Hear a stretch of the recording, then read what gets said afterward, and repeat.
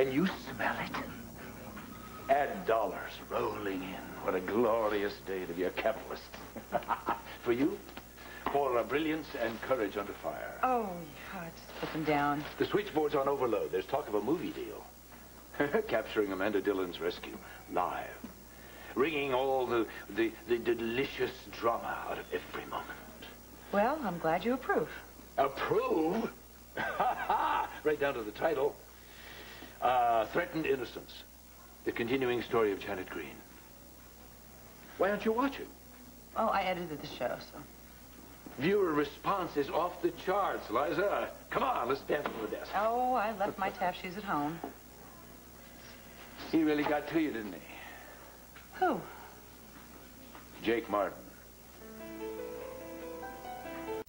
Jake has nothing to do with my mood. Well, according to Marian, Oh, please, would you buy her a life? uh, he wasn't too thrilled with the way you handled the Amanda Amanda Dillon rescue. Well, I make the journalistic decisions. Jake is a glorified gopher, right? I'll talk to him. No. He's just green. He doesn't understand the business. It's not his job to second guess you. He was worried about Amanda. That's all. Yeah, all the Martins wear their bleeding hearts with pride. I explained the situation to him. Everybody knows that Janet Green is Amanda's mother. To have withheld the facts would have been irresponsible. Hey, I'm on your side. There are no sides. Jake questioned me. So what? So what? So you, you're not angry with him? Oh, why should I be? Please, I've gotten mail already that I've exploited the child. You didn't create her twisted lineage. Still, her pain is our gain. We can't sit on a story while the rest of the world runs with it. Liza, don't tell me you're actually worried about how this looks. Would that be so unbelievable? You made the right decision. I egregiously agree with you. I am proud of you. If you if you're so worried about your tainted image, why don't you take it to the next step? And what's that? That the next step would be to go and visit the little victim. Take the largest stuffed animal you can find and wrap it with a red ribbon. Mm-hmm. And bring a cameraman in tow, of course. No use letting all that goodwill go to waste. Mm, Just a little something for the six o'clock news. Yeah, well, with promos if we're lucky. I'm on my way. You should let more people see the side of you. And ruin my image? Liza, Yes. when there's a tragedy like Laurel Dillon's death, everybody second guesses themselves. You're not alone. Okay. If Jake continues to interfere, I'll uh, set him straight. Adam, I run this station. On my worst day, I can handle Jake Martin. That's what I'm counting on. Get away. How do you Get sleep away. at night, Liza? Baby, Hey, she don't got no conscience, that's how. look, I'm the one who found your daughter. Yeah. She would have died from exposure. You found my daughter, you exposed her, then you made your money. I just wanted to give her my gift. You know what you can do with that gift. I told you not to spill that story. The truth? Amanda doesn't know that Janet's her mother. And whose fault is that? Who lied to her? I got a right to protect my kid. You got a right to put her in a bubble? And I sure as hell will protect her from you. Protect, protect. And you better take her out of school, Trevor. Better make sure she never reads a newspaper or a magazine, goes to the park, or has a play date. The truth is everywhere. It's in every newspaper, every magazine, especially in the memories of every townsperson, that Janet Green is a local legend. You are so unbelievably cruel. Cruel? Cruel is lying to your child. Cruel is letting her know that her mother doesn't exist when she lives right across town. Look, you have a problem with my show, then you're the parent. Turn it off. But don't ask me not to do my job. Shove your job. I'm not gonna forget this. I just came to bring this to Amanda. Please make sure she gets it. Have a good day.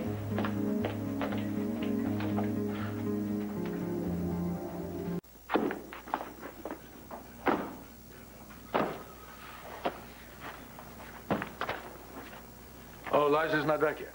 I didn't know she was gone. I assume you two have found neutral ground. Did we need it? But she mentioned that you were not thrilled with her uh, special on Amanda's rescue. Yeah, yeah, well, I think it's wrong to exploit that kid's situation. Your job is to execute station policy, Jake, not dictate it. Yeah, I used to work for a community hospital when I was in California. And we had a, a kid come in once. He'd been in a car accident, come into the ER. And we sent him away. We sent him to a hospital 30 miles away because he didn't have the right insurance. Standard policy for that hospital. Doesn't make it right. No, But you're still missing the point. We are not running an ER here. Well, tell that to Amanda. Jake, um, I can see we're not always going to agree on everything, but I like to encourage differences of opinion. Keeps people flexible. Uh, are you busy tonight? No. I, why? Why don't you join us for dinner? I don't think that would be such a good idea. Oh, no, no, under with a more relaxed atmosphere. Maybe it might help you and Liza resolve any residual tension. yeah, maybe. What do you have to lose? Mend some fences. You know, we do spend a lot of time here. Nursing grudges probably wouldn't be such a good idea. Sure, why not? Excellent. I'll have my secretary call with the time. All right. Oh, did I miss something? Adam will tell you. You didn't. Not after I asked you not to. I told you I could handle him. I didn't usurp your authority. Oh, please, this day can't get any worse. Didn't go well at the hospital? Trevor ambushed me in the hall. No human interest shots? No, just a nice little shot of him putting his hands around my neck. Oh, it's too bad. Yeah. A nice sappy shot of you and the kid would have rounded out the story very nicely. Well, I'm sorry to disappoint. You disappoint? Au contraire. Look at these numbers. Liza, you did it. You pulled in the best numbers of the season and you gave our viewers an emotional roller coaster they'll never forget. It's not bad. Not bad. They're off the charts. So are you. Lucretia is making your favorite menu. Tonight we celebrate. Uh, does the celebration include other members of the Chandler family? Well, of course, my daughters are coming. Come on, these cozy little dinners are beginning to grow on you. Yes, like veins of mold on Stilton. Remind me to wear my beaded flak jacket, dear.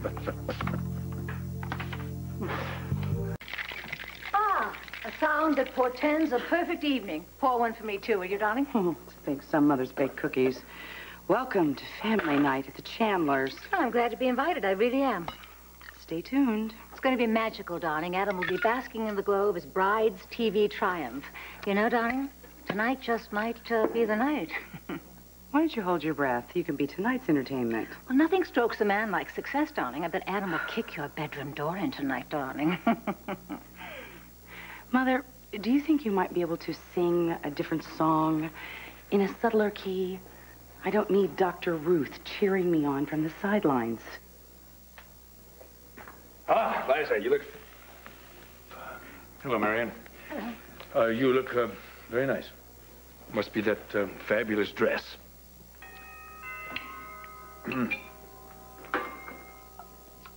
Well, Adam, your darling daughters have arrived.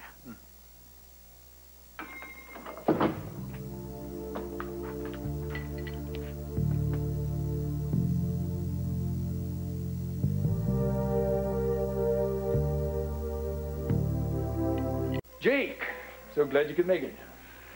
Be here. This is an unexpected uh, surprise. Did did you tell Lucretia that Jake would be here? Of course. When? W- when did you invite Jake? Today? Is there a problem? No, no. I, I, I guess there was just a misunderstanding. You told me it was a family gathering. Well, it is, but Jake's part of our WRCW family now. And uh, Skye is quite partial to him. Besides, the man is the hero of the hour. So all this is uh, an arrangement for Skye? No, no, no, of course not. I just, I thought it'd be great fun to have Jake with us tonight. The, the fact that Skye is partial to him is an added bonus. Great. Can I get you something? Yeah, uh, bourbon if you have some. Whiskey. Fine. Rocks, please. I, uh, I thought I was here to mend fences. Escort duty wasn't discussed. Oh, women. They, they have to arrange every detail at a dinner party. You know, all the participants have to be neatly paired off or panic ensues. Ignore it. Hmm. Mm. Hello, Skye. Daddy. Barry, it's Barry? delightful to see you. It's always a pleasure, Marian. Thank you. Liza, Adam, and the famous Jake Martin. Outstanding rescue. I just happen to be there. Oh, you're too modest, Jake. Come along, Barry. Let me get you a stiff one. you looked a little tense when you came in, darling, but I've got, fortunately, a fat... I'm sorry I'm late. You're not late. And why are you looking at me like that? Smile while we talk. I don't want to see. What do you think I'm going to do? I don't know what you're going to do. I, I, it's very difficult to tell, actually. But there are not going to be any tantrums tonight. Are you Yeah. lock me up in the shed? Miss Chandler? Thank you, Winifred. Seltzer. Seltzer, Winifred is going to keep an eye on you, as will I. There's not going to be a repeat of the performance you gave at Erica's wedding. Why invite me if I'm such a potential threat to your social reputation? I don't care what people think about me. But I sure as hell care what they think about my family. You were going to do a little damage control tonight. Well, I solemnly swear not to break any furniture, set any fires, or throw any food or drink at the guests. Thank you. Why don't you spend some time with Jake? He's attractive and not married. Did you make any headway with that business we discussed? You mean securing my assets after I leave Mrs. Chandler? I'm taking care of it as we speak. Ah. Another Martin seeks third-party status?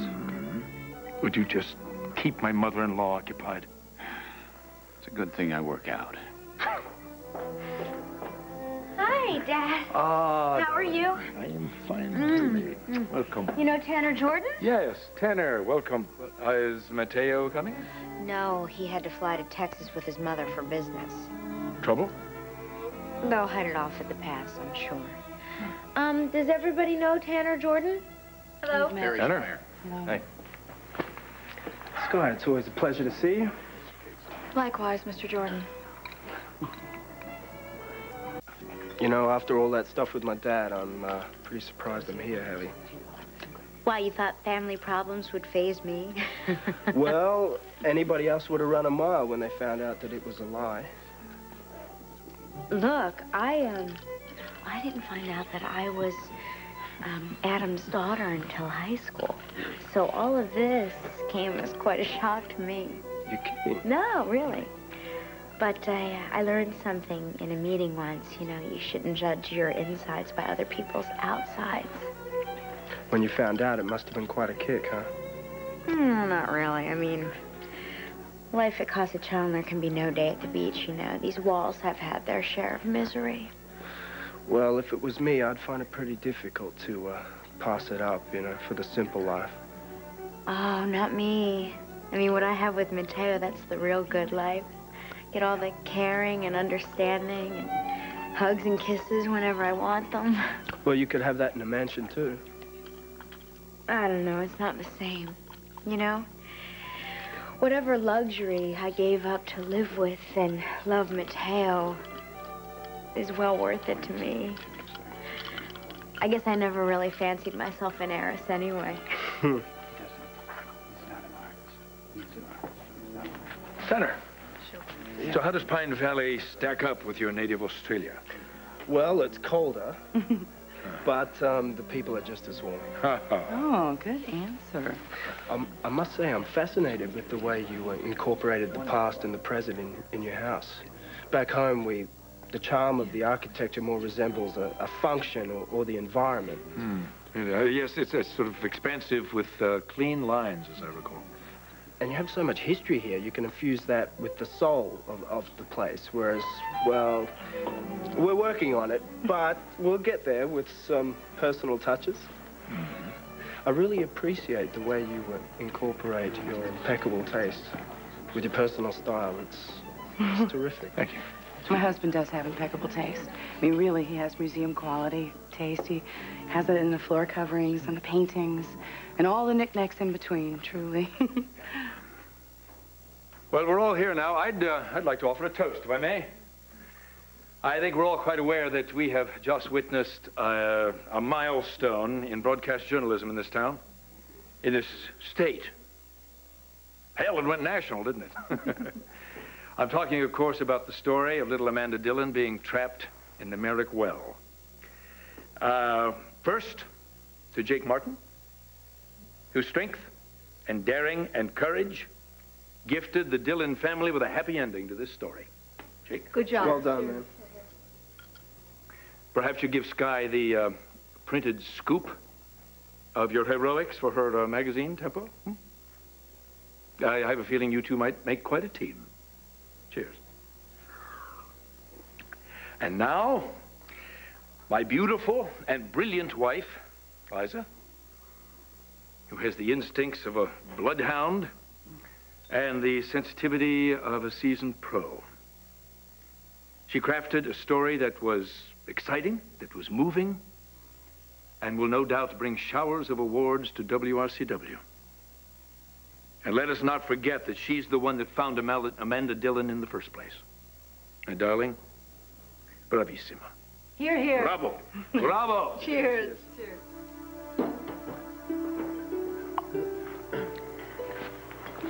Uh, I'm sorry. That happens to be priceless. Yeah, well, um, I'm sorry, I'm a klutz. All right. Uh, you didn't uh, toast. Obviously, you have some reservations about the way we handled the Amanda Dillon story. Well, Laura's been at the hospital nonstop. Uh, she hasn't had time for news analysis. Oh, yeah, but she obviously has some objection to the toast. Adam. I'd like to know why. Adam, you No, don't- it- no, really, it's it's fine. Um, if you, if you would like to know why, uh, I I think what your wife did to Janet and the Dillons was obscene.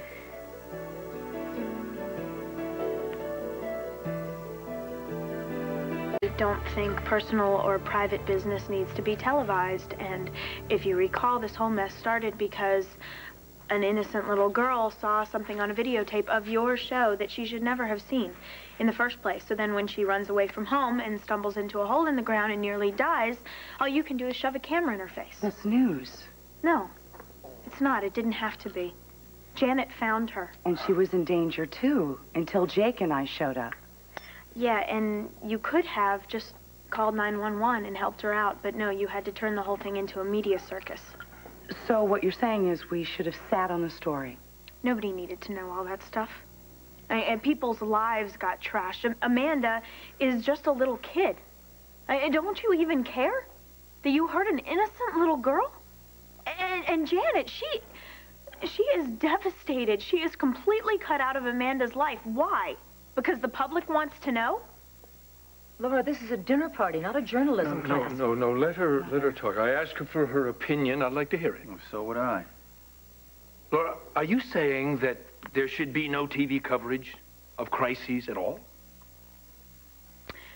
When I lived in the SROs in New York City, every Christmas our local station would, would send their camera crews out to uh, tape the wretched refuse getting their yearly toy from the Do-Gooder Society, and everyone was so smiley and so um, anxious to help and so concerned about our plight. That was bull. All they wanted was their weepy, sobby little news blurb. Period. The end. So when Miss Colby showed up at the hospital with her stupid stuffed horse for Amanda, I was way ahead of her. I mean, really, what what were you after, huh?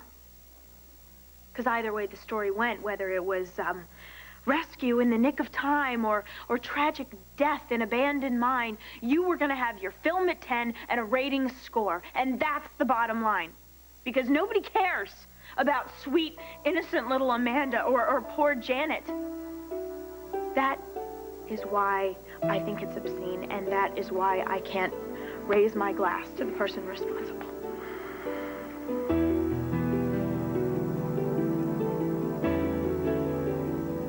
You have every right to your opinion, Laurel, and so do I. I respect your loyalty to your friends. But I respect journalism, and journalism respects the truth. It's our job to search and reveal the facts. It's a simple job description. It's not an evil plot. Your, your new mother could tutor you on that subject, Laura. And on the rules of etiquette as well. Well, uh, seems the Chandler men like women who've got strong opinions. Isn't that right, Uncle Adam? So it seems. Excuse us for a second.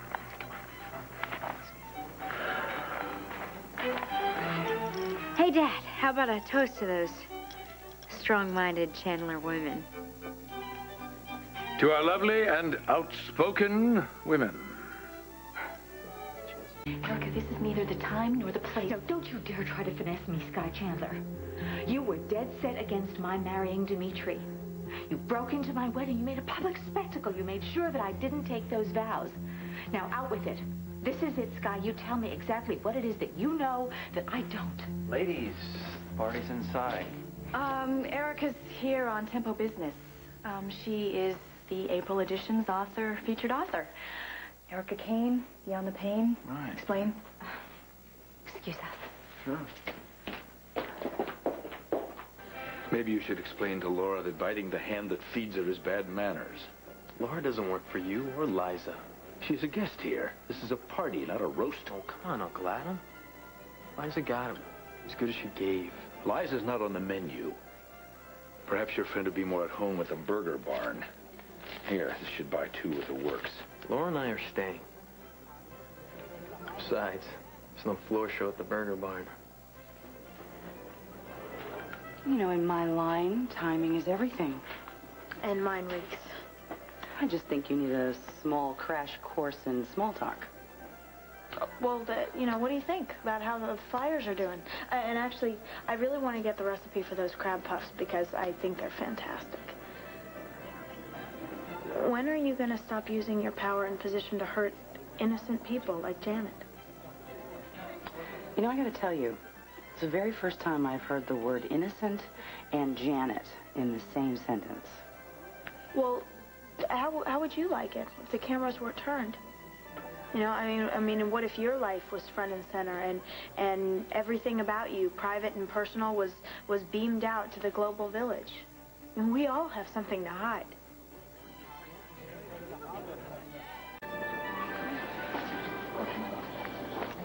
Oh, Scott, I'm uh, fresh out of small talk. I think maybe we should go home. Oh, detente. That's an excellent idea. Blessed are the peacekeepers, right, Uh, litigator darling? We are staying. But if Laura wants to go... Well, let's just send us to bed without our supper. Now, young lady, eat your veggies or no dessert. Oh, and singing at the table is strictly forbidden. Uh, uh, elbows off, please. And don't even think about trying to eat all your peas with a knife. well, opinions expressed by the guests are not necessarily those of the management. Well, it's all right with you, isn't it, Liza? Let me tell you something. I may not agree with Laura's viewpoint, but I will defend her First Amendment to say whatever she wants. Now, in the interest of world peace, shall we partake of the buffet? That's a good idea. I have to make a call. Um, uh, Jake, would you escort Liza? Take you someplace with uh, Skye. Let's go in two by two, darling, just like Noah's darling little ark. Excuse us. So the condemned had their last supper. Yes? Ma'am. Ah. Jake, my good man. Uh, uh, where's Skye? Uh, I think she's upstairs having some kind of conference with Erica. Try to get them to join the fun. Oh, I'll go. Oh, no. Um, um, your powers of persuasion are legendary, darling. But uh, if a strapping buck like Jake can't lure Skye down here, well, what chance do you have?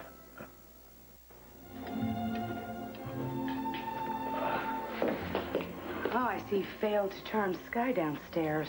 Uh, no, she'll be here momentarily. Well, our guests have stopped feasting on each other long enough to enjoy Lucretia's buffet, so Oh. bon appetit. I'm, uh, I don't think I'm hungry. Really? Oh, a rousing game of hang the hostess always gives me an appetite. No, Laura's attack was unconscionable. I'm unbowed. I don't even have a flesh wound. We'll give the lady points for style. Please. Takes more than a sermon from an overwrought schoolgirl to bring me to my knees. You're as tough as you are beautiful, Liza. I stand in awe. You know, Adam, your toast this evening, it really meant a lot to me. Verbal proof that chivalry isn't dead. Not, that you need this tarnished knight to come to your rescue, but for whatever it's worth, I meant every word of it. There's something wonderful about a woman who's the hero of her own story. Yeah, shall we? Sure. Let's find a little place for my tarnished knight. Excuse me. Over here? Perfect. Adam? What what happened to this? Liza, is there a problem? The... The, um, Fabergé egg is missing. It's, it's, um... Adam? That priceless treasure? What's going on? Uh, it seems the Fabergé egg is missing. Well, maybe Winifred moved it. Winifred doesn't move a throw pillow without my permission. When's the last time someone saw it? Well, Laura was admiring it earlier. Laura? Did you by any chance uh, pick up the egg to show it to someone and uh, would you forget to put it back? I think you should stow the handcuffs, Mr. Chandler. I didn't touch your precious little knickknack. Laura, nobody's accusing you. Well, actually, he knows that I've been busted for shoplifting before, so... Good heavens. Well, I think everybody should just, like, pat me down, do a search, and we can settle everything No, let's right just now. calm down. It, it, this Well, need to... actually, you know, before you call the cops, why don't we just check my stuff? That's the great way to settle everything. My bag's right there. My coat's in the closet. Go ahead. No, that won't be necessary. Alan, darling, she did volunteer. Here. Go with it with a fine-tooth comb. Uh, bring it to the hospital. Have it x-rayed. She might be packing a You've gun made or your high point, explosives. Scott. You've made your point. It won't be necessary. We'll forget about it.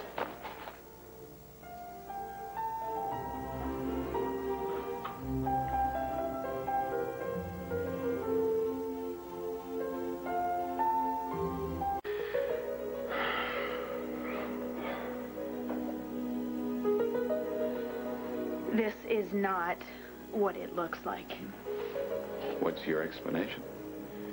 Obviously, someone slipped inside her bag. Well, gee, why would anybody want to do a thing like that? Someone who want to make Laura look bad. Uh, is this some sort of new parlor game? No, it's just someone's lame attempt to frame Laura and make her look like a thief. God, like I'd be stupid enough to fall for it. Are you saying that I staged this burglary? Don't be absurd. May I suggest that you prosecute to the full extent of the law and... Whoa, whoa, whoa, whoa, whoa. Why don't we all just take it down a level here? The voice of reason. Well, if you ask me, Jake's a breath of fresh air. Well, nobody asked you, darling. All right, party's over. Let's go. Come on, I'll take you home. Darn, and it was just starting to get good.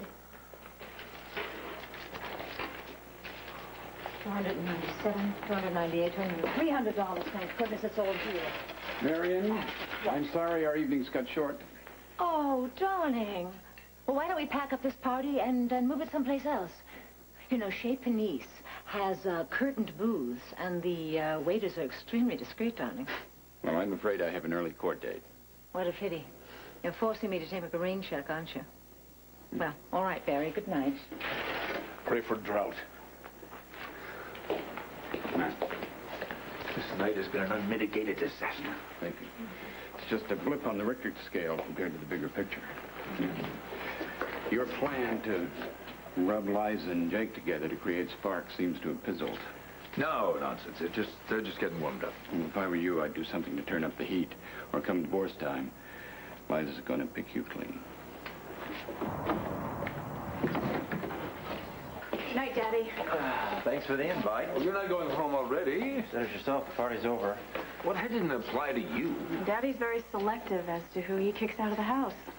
I have the bruises to prove it. Good night. I'll, um, make sure she gets home okay.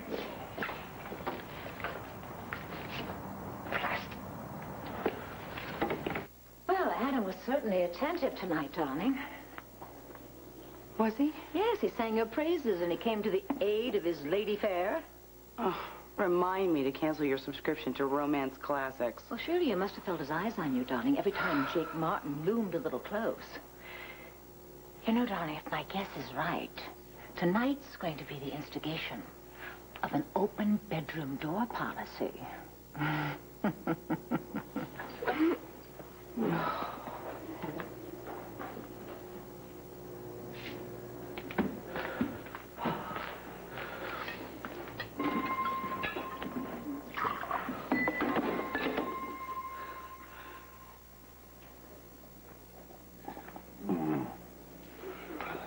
Oh.